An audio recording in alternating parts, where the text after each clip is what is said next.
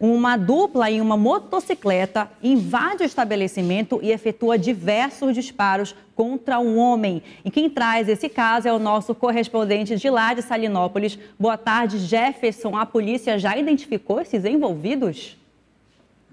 Bem, boa tarde. Olha, até o presente momento a polícia não identificou nenhum dos envolvidos nessa tentativa de homicídio. Se é que é uma tentativa de homicídio, porque o piloto da motocicleta também tentou atirar contra as demais pessoas que estavam ali reunidas com o João Vitor, no interior dessa loja de autopeças da cidade de Capanema. Esse fato ocorreu por volta de 11h26 da manhã do último sábado. O pessoal conversava ali atrás de um determinado veículo quando os dois ocupantes da motocicleta chegaram já metendo o bicho, ou seja, já atirando. O garupa atirou em direção ao João Vitor, tanto que ele perseguiu o João Vitor. O João Vitor teve que pular o balcão da loja e se esconder no meio dos veículos, das sucatas ali daquele local. Mas ele ainda foi atingido por três vezes, três disparos, um no braço, um no pé e outro nas costas. Ele foi socorrido por populares que estavam em um veículo ali particular, levado até a UPA de Capanema. Está fora de perigo. Agora, o que é estranho, viu, Agenor e você de casa, o que é estranho é que o piloto da motocicleta atirou contra os demais que estavam conversando com João Vitor. Ou seja, quase uma chacina. Quatro pessoas, cinco pessoas ali conversando, chegaram atirando, não contaram conversa. As pessoas estão comentando sobre um certo acerto de contas, mas a gente não está afirmando nada aqui, que estamos aqui trabalhando com suposições, né, as quais estão rolando nas redes sociais, não se sabe até o presente momento. Isso aí fica a cargo da Polícia Civil, que com certeza o pessoal da Depol de Capanema, que trabalha muito bem, vai dar uma resposta e em breve a gente pode estar até, até dando essas informações aqui ao vivo no Bora Cidade, viu, Agenor? Aconteceu em Capanema. Por lá o negócio tá pegando, a macaca tá cantando, os caras já estão chegando e atirando, Agenor.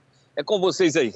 Jeff, pois é, Jefferson, mas eu quero saber de você o seguinte: é, esse estabelecimento onde a vítima estava, ou as vítimas estavam, ele não é proprietário, ele não é sócio, estava apenas ali na oficina mecânica, é isso?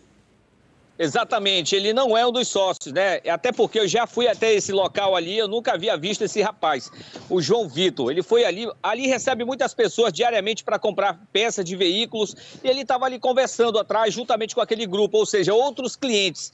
Agora, o que é estranho, né, Genô? Não somente uma pessoa, mas aí o piloto da moto também atirou na direção do outro grupo que fugiu na direção contrária, foi se esconder para não levar bala também.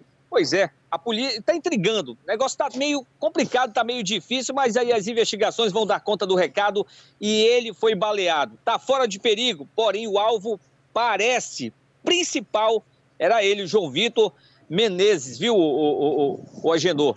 Né, a gente espera que a polícia dê uma resposta rápida, até porque a Polícia Civil de Capanema não brinca em serviço, a gente sabe disso ali. Contra bandidagem, eles estão trabalhando direto.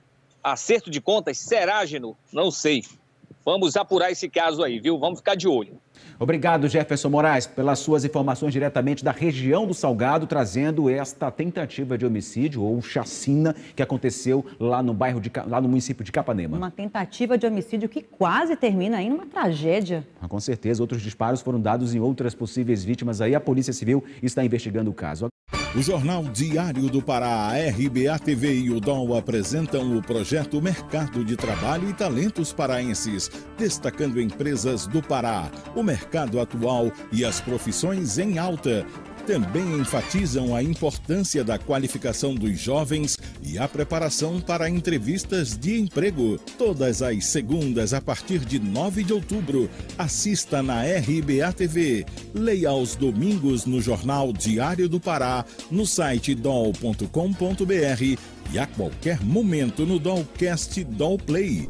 Realização Diário do Pará. Oferecimento Hidro. Indústrias que fazem a diferença. Aqui tem o melhor preço. Vem pro Formosa. Uva Infinity Turma da Mônica, 6,99. Fralda Cremer Hiper, 55,99. Omo Branco Absoluto, 4,99. Formosa, o melhor preço pra valer.